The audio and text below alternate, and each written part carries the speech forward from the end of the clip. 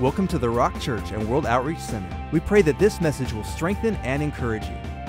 Now, here's a message from Pastor Dan Roth.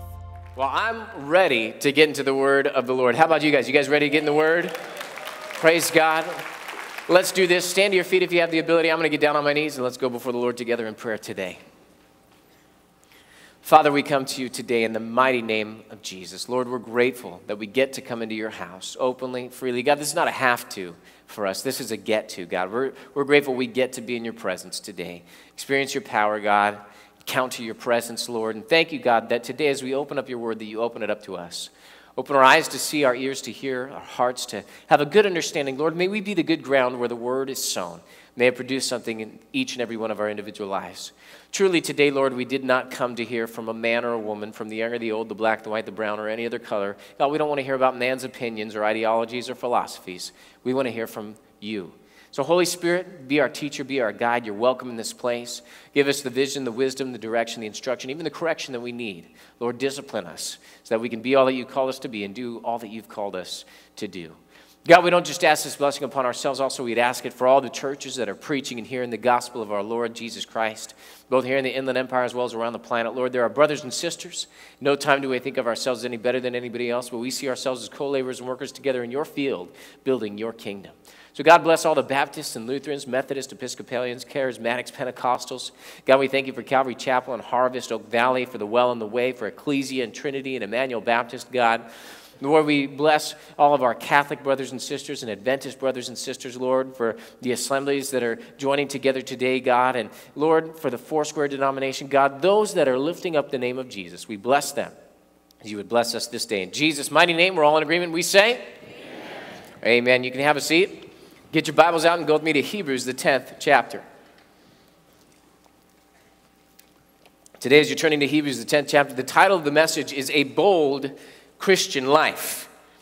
We're going to find out what that means in a moment, but Hebrews chapter 10, talking about a bold Christian life. Hebrews chapter 10, we're going to read verse number 19 through verse number 22. Hebrews, the 10th chapter, starting out in verse number 19, says, Therefore, now, if you've been around this church for any period of time, you know that therefore is there for a reason. In other words, because of what I just said. Now, the last time we were together in the book of Hebrews, Pastor Jim taught a phenomenal message about being sanctified. The moment of salvation, the blood of the Lord Jesus Christ washes and cleanses our life, and we are sanctified. We are set apart. We are holy before the Lord, and we are His, one with Him. And yet, sometimes we wonder, well, then, if I'm pure in the sight of the Lord and I'm cleansed of my sin, then why do I still do some of the things that I do in the flesh? And the explanation of that is that we are, yes, sanctified in the spirit, but we are being sanctified in the natural. There's still a process of sanctification going on, and we are changing into the image of the Lord in our minds, renewing our minds, and now in our actions. So, because of that, because of that sanctification, because of the process we're going on with God, therefore, verse number 19, brethren, having boldness, everybody say boldness to enter the holiest by the blood of Jesus. Verse 20, by a new and living way, which he consecrated for us through the veil, that is his flesh. Verse 21, and having a high priest over the house of God. Now, we've talked about the high priest a bunch. In fact, the high priest is the main point of the things that we are saying if you read in the book of Hebrews, chapter 8. Having a high priest over the house of God. Take a look at it with me next verse, verse 22. Let us draw near with a true heart, in full assurance of faith, having our hearts sprinkled from an evil conscience and our bodies washed with pure water. Now, I would love to go into everything that these verses have to say, but we would literally be here for months expounding on the things that these verses contain. There is so much chalked into these verses of goodness and, and of understanding, a richness. Now, this is not meant to be fast food. This is not 30 seconds or less or your meal is free. This is good food for us. And that's why we take our time. We go line upon line, precept upon precept. Today, I want to zero in on verse number 19, where it says, Now, Therefore, brethren, having boldness to enter the holiest by the blood of Jesus. We talk about a bold Christian life. Notice that the verse does not say uh, we should have boldness. Notice the verse doesn't say it'd be a good idea to go out and get some boldness. I want you to notice the verse doesn't say you should muster up some courage so that you can be bold. No, it says, therefore, brethren, having boldness. Highlighted both words for our understanding today. Because it is something as Christians, because of who Jesus is and because what he's done on the cross, and now because he's seated at the right hand of God, that we as the church of Almighty God have boldness. We ought to be the most outspoken, the most frank, the most transparent people on the face of the planet. Why? Because we have boldness. And yet, when I look around the church, and when I look in Christian lives, as I encounter people, I look around and I kind of scratch my head and go, where is the boldness? See, we're lacking boldness in our lives. Why? Well, a couple of reasons why. There's some things that hinder boldness. Things in our life that hinder boldness. First one is ignorance. Ignorance. People just don't know who Jesus is. And I'm talking about Christians now, okay? Not, not talking about people that are not Christians. I expect them to not know who Jesus is. But even in the church, we, we don't have a biblical understanding of who Jesus is. We don't realize the fullness of what he's done on the cross and how he went to the grave and was raised again on the third day according to the scriptures. We don't realize that now we have a high priest who is seated at the right hand of God making intercession on our behalf and that he's for us. He's not against us. He loves us. He's pushing us forward and moving us into great things in our life. See, if we understood who our Jesus is, who our King is, then we would be a lot more bold. It's okay to say amen today. That I, that I might tell you that, okay? And yet we're ignorant. Sometimes we're ignorant not of who Jesus is. We understand who Jesus is, but we don't know who we are in Him. See, when you get a hold of who you are in Him, all of a sudden it doesn't matter what people think of you. Doesn't matter what people say about you. Why? Because I know who I am. I am not only who I am, but who I am in Him. See, in Him, I am a king's kid. In Him, I'm an overcomer. In Him, I have all sufficiency. See, in Him, I have. In Him, I am. In Him, I live and move and have my being. I don't even breathe without Him. And because of who He is and who I am in Him, I can now be bold.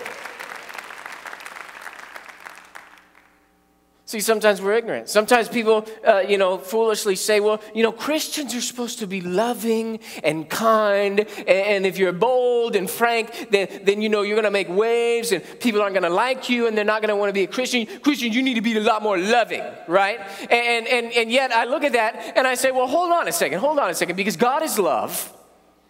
Is that right? First John, the fourth chapter, we know that, verse number eight. God is love.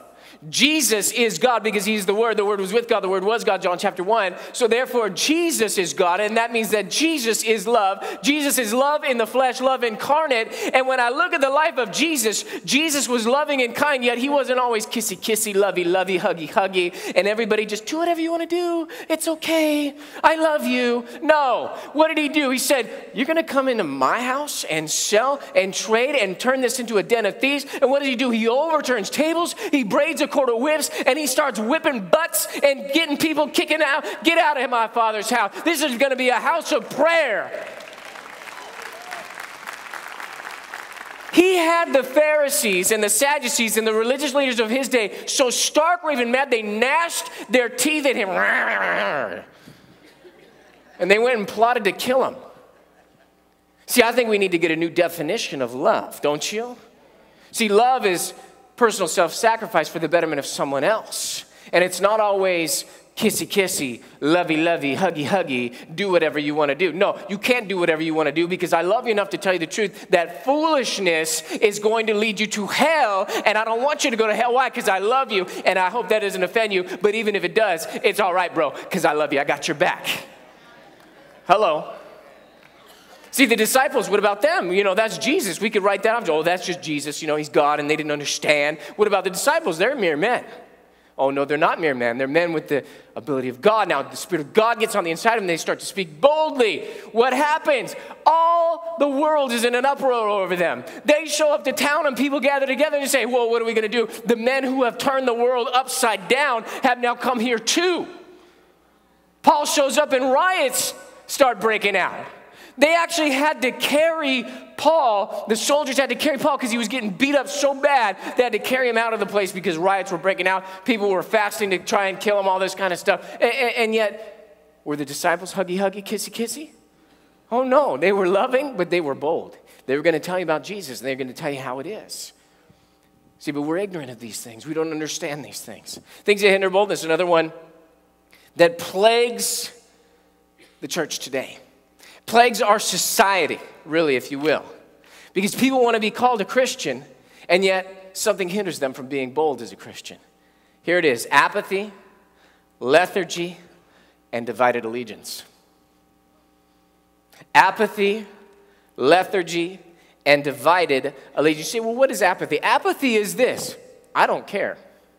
I'm apathetic. I, I, I, really just, you know, I want to be a Christian, but I, you know, I don't really care to be bold for Jesus, you know, and, and they view their Christianity as like a AAA membership, you know, and so therefore I signed up for it. I've got it. I got the sticker on my car, but I'm not going to make any waves. I'm not going to do anything. I'm not going to be bold for Jesus. Why? Because I got mine and I just don't really care about anyone else or anything else. I'm a Christian. It's fine. That's just how it is. Listen, this is not a AAA membership. You have not joined a club. You have a new nature on the inside of you, and you ought to You ought to allow the Spirit of God to be like a fire in your bones where you wanted to shut up, but indeed you cannot. What about lethargy? Lethargy is just I'm too tired. You know, I've spent all my energy and all my effort. I've been working hard. You know, the wife and the kids, they've been on my back. My boss has been on my back. Everybody get off my back. You know, I got bills to pay, I got things to do, and I'm so spent that at the end of the day, I don't have anything left over for God. I just can't be bold for Jesus. I just got to do my thing. And that's all I have energy for. That's lethargy. And yet God says, stir yourself up. God says, don't allow yourself to slump back into sleep. No, you need to awaken to righteousness. You need to get up. You need to be bold for Jesus. And you need to draw your strength from the Holy Spirit because those who wait on the Lord shall renew their strength and they will soar with wings as eagles. They shall run and not grow weary. They shall walk and not grow faint. What about this one? Divided allegiance. What's that all about? Well, you know, uh, I got friends, and you know, they're not Christians, and I'm trying to win them to Jesus, but I, I don't want to push them away. You know, and so if I'm bold and I'm frank and I'm open of speech around them, you know, they're going to get offended. Well, can I tell you something? The gospel is an offense. That's what the Bible says. It says to the Greeks, it was a stumbling, they didn't understand it, right? To the Jews, it was a stumbling block. It was an offense. The death of Jesus is offensive to people. They don't want to stare at a naked man bleeding and suffering on a cross. They don't want to look at injustice in the face and see God as love hanging on a tree for their sin. That is offensive to people. To us, it's the fragrance of life, but to them that are dying, it's the fragrance of death, the Bible says. It is an offense, and divided allegiance will keep you from being bold. Why? Because you can think, oh, well, I don't want to make any waves, I don't want to push anyone away, I'm just going to love them. Again, you got to get a new definition of love. Because the gospel is an offense, and friendship with the world is enmity towards God, the book of James says. You cannot have a divided allegiance. You have to be 100% wholehearted, sunk into your allegiance with God. And because you're loyal to God, I don't care what people think of me. I don't care. Listen, it's going to offend, but let me love you enough to tell you the truth. Here's how it is. If you continue in that activity, it's going to drag you down to hell. And I don't want you to go to hell. I want you to be with me in Jesus eh, forever in eternity in heaven. And you know what? If it pushes people away, then you know it's time to go and tell someone else about Jesus. Jesus said, Don't cast your pearls before swine or in front of the dogs to trample them underfoot, and then they turn and trample you. Listen, if they go their own way, then you know what? Here's what you do you pray for them and you ask the Lord of the harvest to send laborers across their path. God knows how to get a hold of their heart. And if you really care about them, you'll love them enough to tell them the truth. Be bold about your relationship with Jesus Christ, not put up with junk and let them spew their worldly vomit all over you. No, I'm going to stand clean before God. I'm not going to dive in with you. I'm going to stand back here. Why? Because I'm loyal to my God. And if you don't like it, that's okay. I love you and I will pray for you. It's not cold hearted, it's real love. What about this? Fear. Fear. See, there's many voices, including our own, that are constantly talking to us and telling us to be quiet, telling us, don't make waves. What's going to happen? What will people think? Fear will literally shut us down and shut us up. Fear is a great hindrance to being bold. And yet, if you're going to combat that fear that comes on, what, what, what, what, what, what, what, what, what, what's going to happen? If you're going to combat that, you need to fill up with faith. See, because if you fill up with faith, then when the pressure comes and squeezes you, if you're full of faith, what's going to pour out of you when the squeeze comes on? Faith, right? Because that's what you put in, that's what you're going to get out. And so if you fill up in faith, then when the fears try and come, when pressure's trying to come, when the squeeze comes on, and it's time to be bold for Jesus, out of your mouth is going to come what you filled up with faith. You're going to start talking faith. You're going to walk faith. You're going to have faith. And it doesn't matter what happens to me. Doesn't matter if I lack. You can take it all away. Why? I'm bold for Jesus. I've got God on my side. He's going to take care of me. He loves me. You may not like me. I don't care. I got a God who loves me. Things that hinder boldness. Last one is this sin. Sin. This started with our father Adam. Remember, here's Adam in the garden, right? Him and Eve mess up, they sin. What's the first thing they do? They, they have the great cover up, right? They sew together the fig leaves and we're covering everything up, you know, and then they go and they hide. And here comes the presence of God, and God says, Adam, where are you? Now, God wasn't asking that for his own benefit, he was asking that for their benefit. God knew the answer. And what does Adam say? He says, I was afraid, therefore I hid. I messed up and I sinned, therefore I wasn't bold anymore. I wasn't out in the open. I wasn't transparent about who I am. Why? Because of sin. There was an issue in my life that I'm trying to cover up. See, in the same way, many of us, you know, when, when we sin, when we mess up, we run from God rather than running to God. You know, if you're out Saturday night and you mess up, it's not time to skip church the next morning. Let me help you. It's time to get into church. It's time to cry. It's time to repent. It's time to wash your hands, you sinner. Hey, come on, get into the flow of the cleansing stream of the Lord and repent. Confess your sin to God. God, I blew it royally. God, I messed up big time, Lord. But God, it's not greater than your blood. Forgive me, Lord. I repent. I turn from evil. God, I'm not going back there. God, I'm going to cut off that thing that took me there, whether it be a relationship, whether it be a television, whether it be an internet, whether it be a phone. Come on, somebody. Can we talk? Sin will keep you from being bold. See, how can I tell someone about Jesus if I can't even get myself together? Listen, you can't get yourself together. The mender of hearts is Jesus. The healer is Jesus. The one who takes care of sin is Jesus. Get Jesus on the inside. Allow him to do the work of, of, of holiness and to, to change you and rearrange you. And you tell someone about Jesus. You say, Well, how can I do that? You say, Well, listen, I haven't arrived but I know God's doing a work in me. I haven't made it, I haven't yet attained, like the Apostle Paul says, but I'm pressing on. I'm not going to allow that little road bump, but you know what? You can do it too. It's good for me, it's good for you. God is good, God loves you, and He'll take care of you. But, but, but, but, but, but you sinned. Yeah, I sinned, but I gave it to God. He forgives me, He loves me. Now, that's not excuse. Does not excuse. Okay, don't get me wrong right now. Don't walk out here and say, Pastor Dan said it's okay to sin. No, it's not okay. Stop it. Let's clean up our act and let's go into the highway of holiness. But if you do sin, if you do mess up, we have an advocate with the Father, Jesus Christ, the righteous, the Bible says. Those are some things that hinder boldness. So, so then, if those things hinder boldness, then, then, and we have boldness, then how do we be bold? If I have something, how do I use it? Do me no good to have something, I don't know what to do with it or how to do it. Is that right? So, today, a couple of quick things. How to be bold. Number one thing for today, how to be bold is this stay in Him.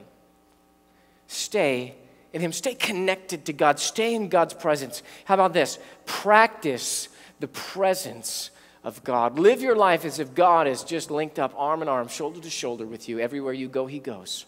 Everything you do, He does. Every word you speak, He hears. Every thought you think, He knows it fully. See, that's the reality of the life in Christ Jesus. When you were born of the Spirit of God, Jesus Christ came to live on the inside of you. Now, on the inside, you are wall to wall, Holy Spirit. You are now infused with the power and the nature of God. Therefore, God is on the inside of you. You are on the inside of Him. And whatever you're doing, God is doing it right there with you. Whatever you're involved in, God's involved in. Whatever your effort is, there God's strength is. See, and if you can stay in Him, then you will be bold for Jesus. My wife and I, we have three small children, ages four to nine, and, uh, and you know, uh, maybe some of you parents out there can relate with this. When you put your children to bed, what happens? You know, you, you pray with them, you read the Bible to them at night, and brush teeth, and get jammies on, and you lay them down, you give them a kiss on the head. And you think that they're sleeping because their eyes are closed, and so you start to tiptoe out of the room, right? And there, as you're tiptoeing out of the room, you think you've made it when you hit the doorway, and all of a sudden, what do you hear?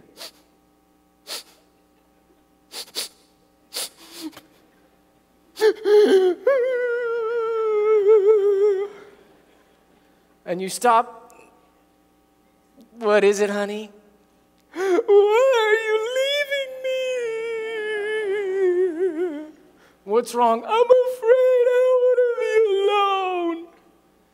And so what do you sit there. I'm right here. I'm right here. I'm right here. Don't worry. Go to sleep, right? Well, we've been teaching our children hey, it doesn't matter if mommy and daddy are in the room. Listen, first of all, we are right there, you know? You can see our room from your room. All you got to do, you wonder if we're here, just peek out the door. We're right there on our bed watching TV, getting ourselves ready for bed. We're in the same house, okay? But not only that, when mommy and daddy leave, Jesus never leaves. When mommy and daddy are gone, Jesus stays. He's still here. And so we started teaching them the scriptures so that even if they don't feel like God's there, that they can start to declare the word of God and bring God on the scene, bring God in their life. See, God never leaves. He, the Bible says He will never leave you nor forsake you. Therefore, you can be strong and of good courage. You can be bold about God. God is there. If you're wondering if God's going to back you, listen, He's there. He's already there. He's already backing you. God is with you wherever you go. And so the other night, my son, he was uh, my littlest one, my little four year old, he's putting on his jammies. And as, as we're getting ready for bed, he's dead, I'm scared. What are you scared of? I'm right here. You know, I'm scared. I won't be alone. I said, listen, well, Jesus is with you. And all of a sudden, it was like the light switch flipped on in his mind. Oh, yeah. Yeah, God's with me. And so as he's putting on his jammies, I do not have a spirit of fear, but of power and love and a sound mind. And he laid down and went to sleep. I was like, yes, finally. First John, turn there with me to First John. There in the New Testament, little John, First John. First John chapter 2. Take a look at a great verse, verse number 28. Now I'm going to read it to you in a different translation, but I want you to find it in your own Bible because I want you to be able to get back to these verses. 1 John chapter 2, verse 28. I'm going to read it to you in the Holman Christian Standard Bible. Now that was a mouthful, wasn't it? HCSB. Be up on the overheads if you want to follow along or follow along in your own Bible. 1 John chapter 2, verse 28. So now, little children. Don't you love that God calls us little children? Why is that? Because He knows our nature. He knows we're going to be afraid because we feel like He's not with us. So now, little children, look at this remain in Him so that when He appears, we may have what? Well, I'm sorry, six of you know? Look up on the overheads. So that when He appears, we may have what? Boldness and not be ashamed before Him at His coming. See, when you are in the presence of God, when you know that Big Brother is with you, his name is Jesus, right? It doesn't matter what's going down on the schoolyard. I got my big brother backing me up, so what you want to do now, right? See, and, and, and, and doesn't matter. See, my dad can always whip your dad because my dad is Jesus. My, that's, my, that's my Abba. He's my father. He's going to take care of me. Devil, bring what you may. Come hell or high water, I will walk through the fire and not be burnt. I will come out on the other side and not smell like smoke. So, number one thing is stay in his presence. Second thing, second thing is pray God's will. Pray God's will. God's will. Now, notice up on the overheads I have for you in parentheses God's will is his word. See, if you can go before the Lord and you can pray the will of God, think about this. If you knew that God had a prayer, that every prayer, every time you asked that question, the answer was yes, then you would pray that prayer, right? And yet, many times in our lives, we wonder well, what's the difference between some Christians that pray and they get answers to prayers and other Christians that pray and they get nothing? What's the difference? The difference is, is praying in the will of God. If you know that it's according to God's will that you're praying, then you know the answer is yes, because God wants it to happen. Therefore, when you pray the God prayer, God's going to bring it to pass on the earth. Kind of neat because Jesus was praying. His disciples saw him praying, saw the power of God manifested in his life. Something about the prayer life of Jesus so impressed the disciples that they went to him and they said, Master, teacher, teach us how to pray.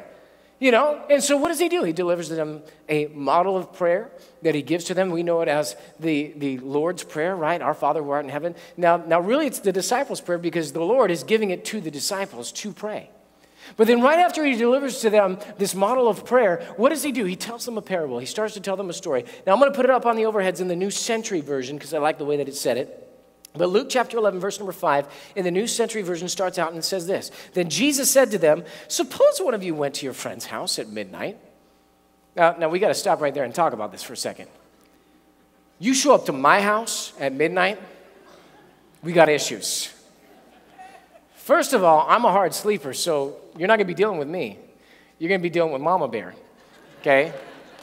So, not gonna happen. You come knocking at my door at midnight, you're gonna get the boot, right? So, suppose one of you goes to your friend's house at midnight and said to him, Friend, loan me three loaves of bread. Now, not only is this guy bugging his friend in the middle of the night, now he's asking for something in the middle of the night. As if it wasn't bad enough he woke him up, now he's bugging him about giving him something. So let's see what happens. Why is he asking? What's he saying? What's he doing? Verse 6 A friend of mine has come into town to visit me, but I have nothing for him to eat. So in our society, we would say, well, so what? Food 4 Less is open 24 hours a day. Go pick up some food, right? But in their society, in their culture at the time, they did not have food for less. They didn't have the 24 hour market. And so all they had was what they made for that day. And whatever they made for that day, normally they used up for that day. So here it is midnight. A friend has come from out of town, and in their society, in their culture, they, they, they were going to be hospitable. Not like us, you know, here's a couch, here's a blanket, I'll see you in the morning, whatever you find in the fridge, it's yours, just don't bother me, right? That's, that's if you even opened the door at midnight for a friend coming in from out of town. You didn't, wait, wait, what time? You showed up right now? Go find Motel 6, bro. And yet, in their culture, it would be considered rude not to take them in and not to put food in front of them as soon as they got there. So here he says, A friend of mine has come to me from out of town. I have nothing to set before him to eat. Now, look at the response of the friend. And this would have been my response, okay, if it was me. Verse number seven. Your friend inside the house answers, Don't bother me. The door's already locked, and my children and I are in bed. I cannot get up and give you anything.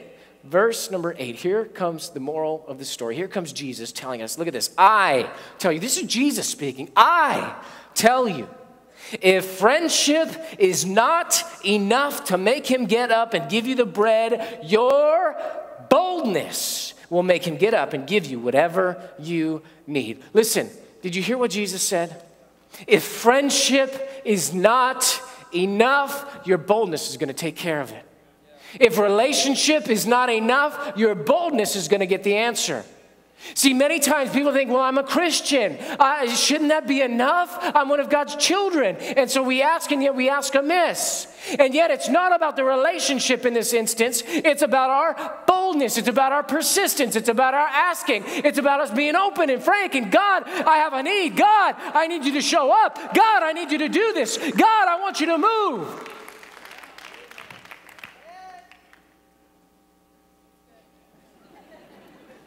Zai. Luke 11, verse 8 in the complete Jewish Bible. Complete Jewish, completed Jew is really a Jew who has believed in the Messiah, Jesus Christ as Lord. So Luke 11, verse 8 in the complete Jewish Bible says, But I tell you, even if he won't get up because of the man is his friend, yet because of the man's chutzpah, he will get up and give him as much as he needs.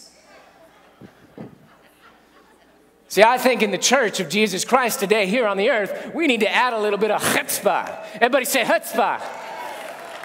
Come on, say chutzpah. Oh, you got to add a little to it, you know? Don't, don't, don't add it to your neighbor. Sorry, bro. How do you know if you're praying the will of God? First John. You still First John? First John chapter 5 this time. First John chapter 5.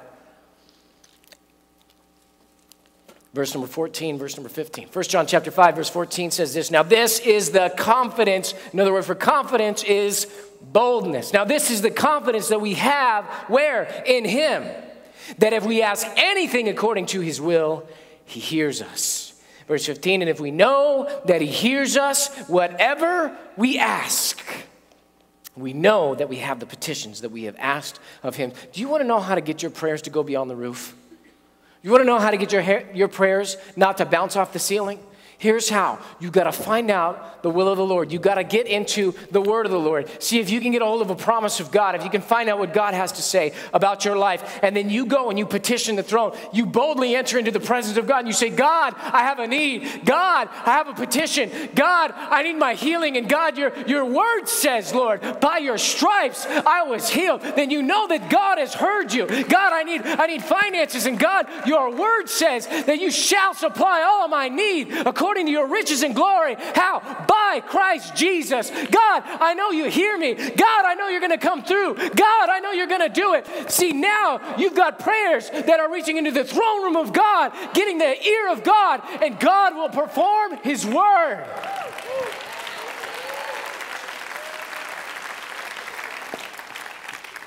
That's chutzpah. Last thing for today. How do we do this? How do we be bold? Third thing is obey God's word. Obey God's word. Let me make a statement to you boldness in his presence in private will turn out to be boldness in public. See, when you stay in the presence of God and when you pray in the God prayer, now all of a sudden, when you go out into the job site, you're going to be bold for Jesus. Why? Because God's nature has gotten on the inside of you, and you cannot be anything other than what you are. Boldness in private will turn into boldness in public. When you go to the family dinner, everybody's about ready to start diving in the food, you say, Wait, we need to pray. They're going to say, Oh, now you're going to preach to me? Now you're going to tell me that you got Jesus? Listen, I wiped your butt when you were little. I, I changed your diapers. I, I, I, wiped your snotty nose. I, I was the one spanking you when you went out on the street. And you didn't. Now you're going to preach to me? No, I'm going to bless our food right now. And I'm going to pray in the name of my Lord Jesus Christ. Thank you for this food. Bless it to our bodies. Bless all these heathens' food too. In Jesus' name, amen.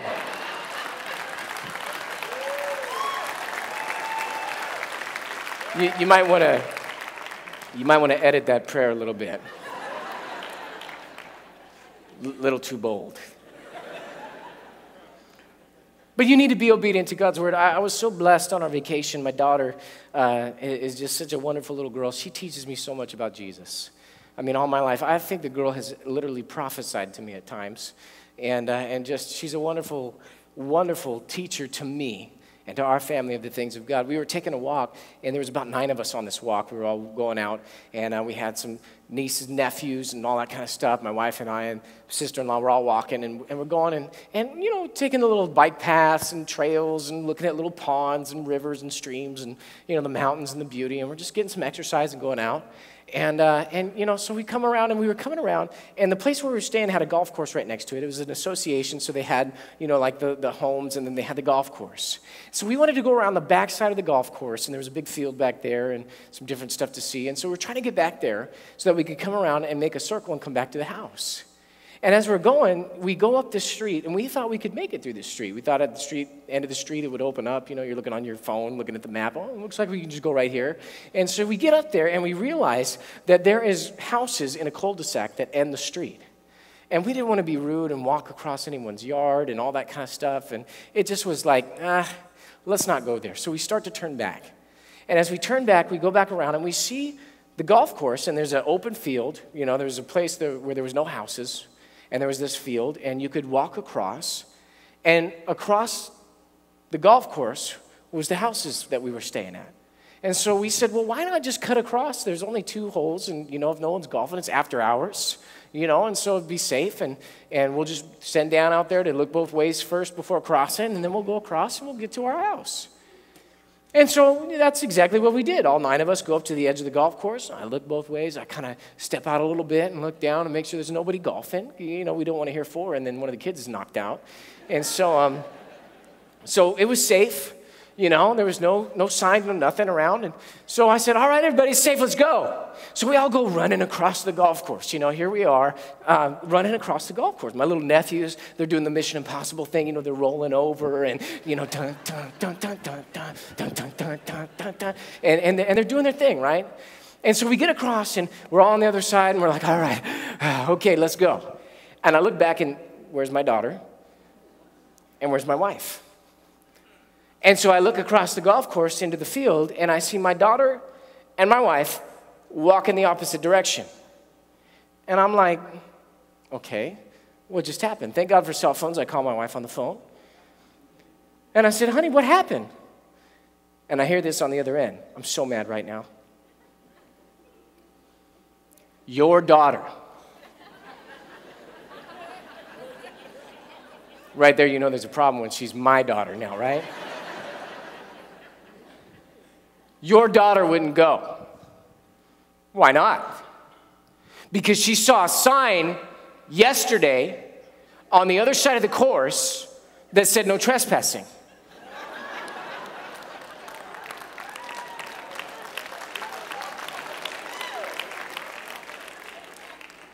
So now we have to walk miles around the golf course to get back. Okay, honey, just calm down. I'm gonna go get uh, Luke's truck and we're gonna, we'll, we'll come pick you up. Don't worry about it. I go and I pick him up and I come back and we drive back to the house that we're staying at and park it. And, uh, and so here comes my daughter out of the truck and I stop her and I said, honey, I, I want to talk to you for a second. Now, no, not what you're thinking. I didn't discipline her. I didn't rebuke her. I didn't tell you you have to listen to mommy and daddy on every point, and if you don't do that, you're wrong or you're bad or any of that kind of stuff. I said, honey, listen, I want to commend you for something right now. I want to commend you for sticking to your guns.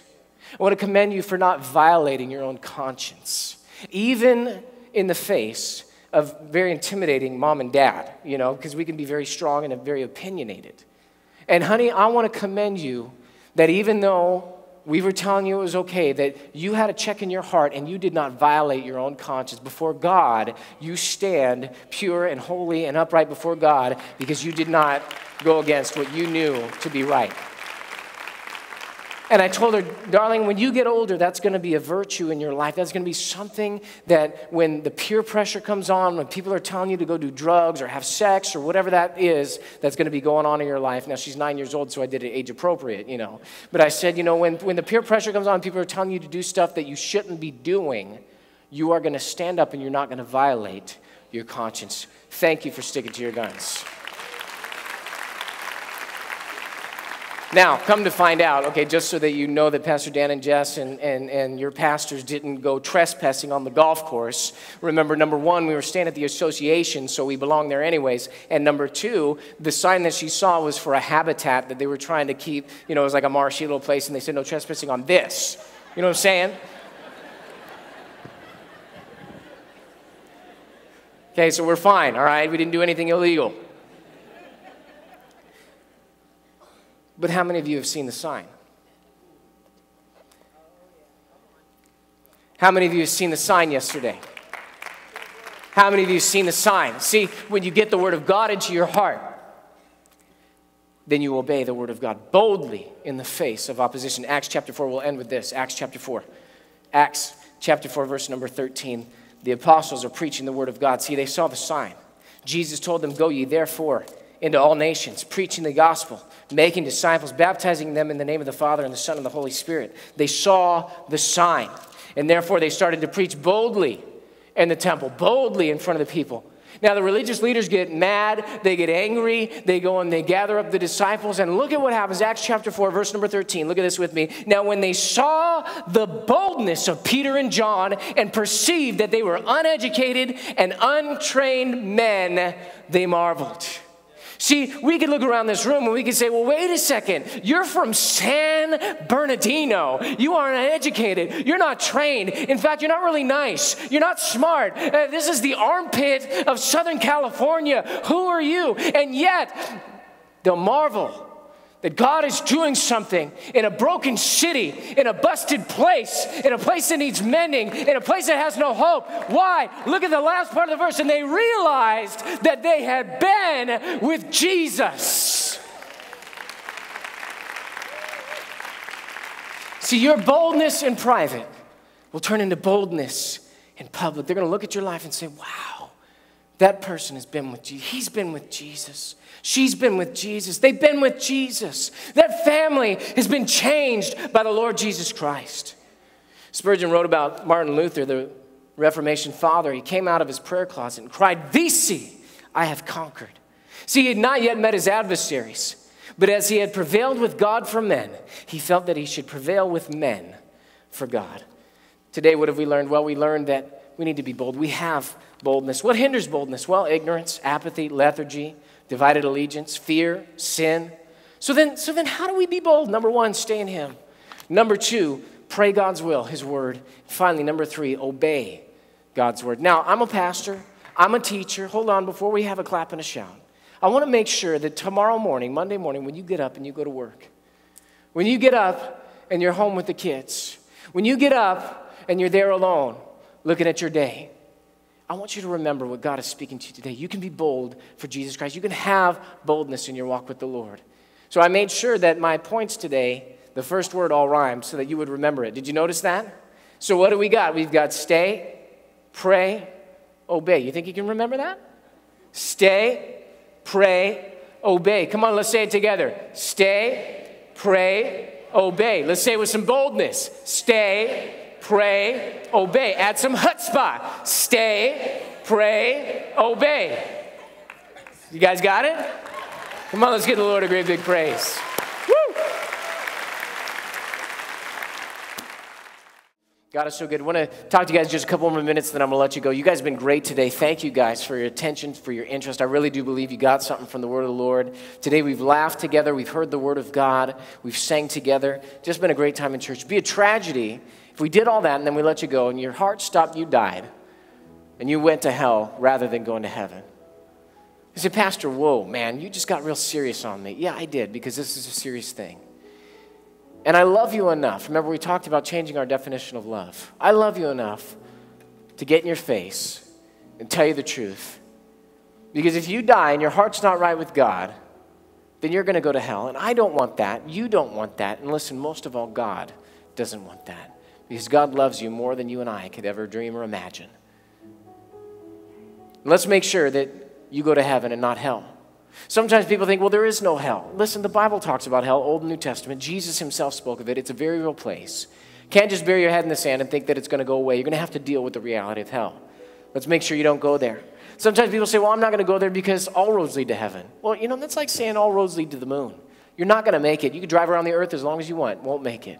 In the same way, you can't just do whatever you want to do and think that you're going to get to go to heaven. You think that God, after going to the cross, beating bloody mess, you think he'd say whatever you want to do? Just you do your thing and they do their thing?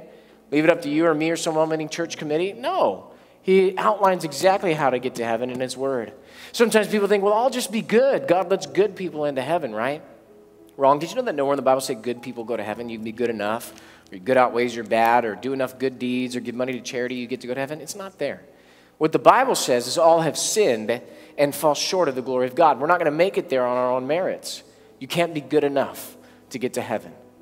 Sometimes people think, well, I was raised in church. Parents told me we were Christians growing up, took me to religious classes, wore religious jewelry like a cross or St. Christopher. They had me baptized or christened as a child, born in America, not any other religion, not Buddhist, Muslim, Hindus. Therefore, we're Christians going to heaven. But did you know that nowhere in the Bible does it say that because you're raised in church, parents tell you you're a Christian? You wear religious jewelry, attend religious classes, be baptized or Christian as a child, you're born in America, that you get to go to heaven? It doesn't work like that. You're not going to make it based on those things. I don't see anywhere in the Bible that because you're not some other religion, that by default, God lumps you into the category of being a Christian, headed for heaven, denying your presence in hell. Come on, can we talk today? Let's talk about your eternal life. Sometimes people think, well, I'm going to get to go to heaven not only because when I was a child did I go to church. Here I am sitting in church in front of you right now, Pastor. I, I consider myself to be a Christian. That's great. I'm glad you're here. But show that to me in the Bible where it says you sit in church service, call yourself a Christian, that makes you a Christian. That's like saying I could go to my house, sit in my garage, call myself a car, and that makes me a car. No, it's simply not going to work like that. Can't just sit in church, call yourself a Christian, that makes you Christian. You say, but, but hold on a second. My last church I got involved, in the choir, made decisions, people thought of me as a leader. I, I even got a membership card to that church. It's great. I'm glad you got involved. But show me where your church involvement gets you into heaven. It's not there. Nor in the Bible say God's waiting at the gates of heaven, looking for your membership card to a church before you can enter. It doesn't work like that. Come on, let's talk about your eternal life. Sometimes people say, well, hold on a second, Pastor. Somebody told me that if I knew God, that makes me a Christian. I know God. I know about Jesus, know about Easter and the resurrection. I sing the songs at Christmas every year of my life. I could quote scriptures to you, Pastor, Old and New Testament. Does that mean I'm a Christian? Well, problem with that is if you'd read your Bible, you know demons believe that Jesus Christ is Son of God. They're not Christians. Problem with that is the Bible records that the devil himself knows who Jesus is and can quote scriptures out of his mouth, and yet that doesn't qualify him for heaven. So, everybody, look up at me for a second. Look up here. It's not about what you have in your head, not about mental assent towards God, having head knowledge about who Jesus is, and that gets you right with God. Rather, this is about your heart. God's always been after your heart. Jesus said it like this He said, You must be born again. Now, I know at that point, many of you in this room turn off and you say, ugh, born again, I heard about that. I saw it in a movie, read about it in a blog, you know, on, on the internet, and, and, and saw it in a magazine about somebody who said they were born again. They're just weird, goofy, and I don't want to have anything to do with that. Problem with that thinking is if you don't have anything to do with being born again in the true sense, you're not going to make it to heaven because Jesus said you must be born again if you want to enter the kingdom of heaven. So, what does being born again mean? Let's not let society or Hollywood, television, movies, or the internet define it. Let's let the Bible define it. What does being born again mean from the Bible? Well, from the beginning of the Bible to the end of the Bible, it's always meant the same thing. It means you've given God all of your heart and you've given God all of your life. It's just that simple. It's all or nothing with Jesus. Let me prove it to you in the book of Revelation, last book in the Bible. Jesus is speaking to a church, just like he's speaking to us here in this church today. And he says, When I come, I better find you hot or I better find you cold, because if I find you lukewarm, I'll vomit you from my mouth. Now, those are gross, graphic words from the mouth of Jesus. But what is he saying? What's he talking about? Lukewarm. What's that? Well, it's a little in, little out, little up, little down. A little token prayer every now and then, an occasional church attendance. God is something in your life, but He's not everything. And you're not opposed to God, but you're not wholehearted for God. Listen, if that's your relationship with Jesus, you're not going to make it. How do I know that? Because only people that are not real Christians will be ejected and rejected from the body of Christ. So, in a moment, I'm going to give you an opportunity. Jesus said, If you confess me before men, I'll confess you before my Father in heaven. But if you deny me, I will deny you. So, here's your opportunity. I'm going to count to three, just like this one, two, three, bang, pop my hands together. When you hear the sound of my hands popping together, just like that, bang, that's your opportunity to raise your hand. What you're doing by the raising of your hand is you're saying something. You're saying, I want to give God all of my heart, I want to give God all my life.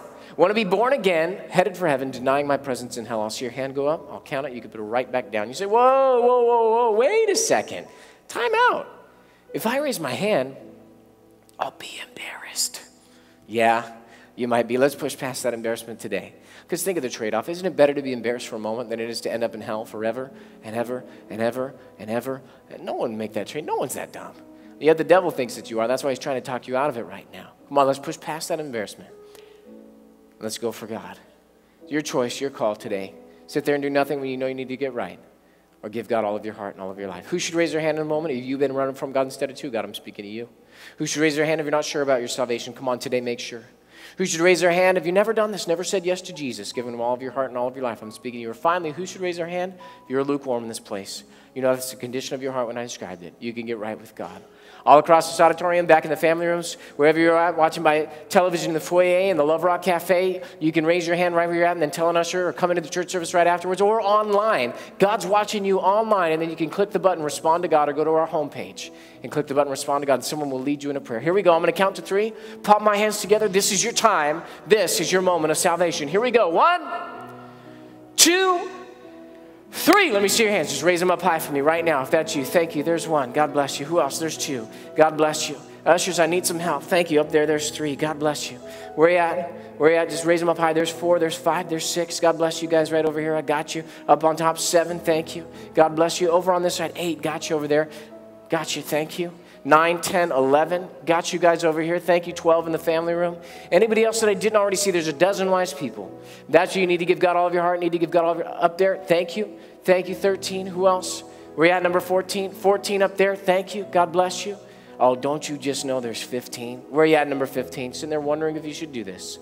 Yeah, you should. Go for it. Go for it. Where are you at?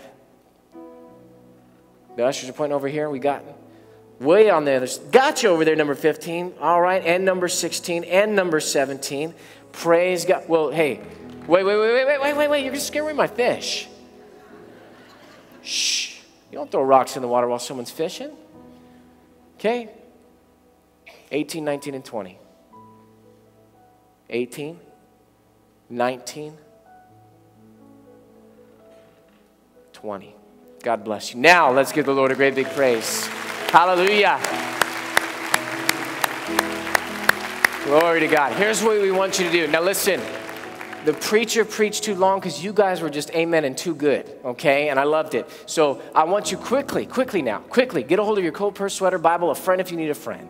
Get your stuff, get in the aisle, and meet me up front. If you're in the family rooms, you can bring your children. They're okay to come in right now, okay? Even if you didn't raise your hand, but you know you should have, come on, you can come too. This is your time. No one leaves during this time. Very hard to get people to come forward. When you're going that way, want to get them this way, all right? So let's all stand and welcome them. If you raised your hand or you should have raised your hand, you come right now. Come on down to the front. Come on, come on, come on.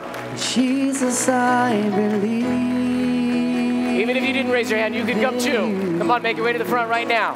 Jesus, I belong. From the family rooms, bring your children. Come on, they'll remember this. You're the reason that I live. All 20 of you. You're the reason that Come on down. I breathe. Jesus, I Come on down if that's you. You raised your hand or you should have. Not too late. Come on. Jesus, I belong to you. Come on, come on, come on, come on. You're the reason that I live. You're the reason that I You can come too. This is your time. This is your moment of Jesus, salvation. I believe in you. Anybody else, if you need to come, you just make your way to the front right now. Come on down. Come on down. Come on down. From the foyer, from the family You're the rooms. reason that I live. Come on down. You're the reason that I breathe. Jesus, I believe. All right, they're still coming. They're still coming. We have room for you. We'll wait for you. If that's you, just make your way to the front right now. And as you're walking to the front, just listen to what I want to encourage everybody up here. Hey, guys, put a smile on your face. This is a good thing. This is not a bad thing, all right? I want to encourage you guys. This is the best decision of your entire life. I want to introduce you guys to a friend of mine right over here to my right, your left. See this guy?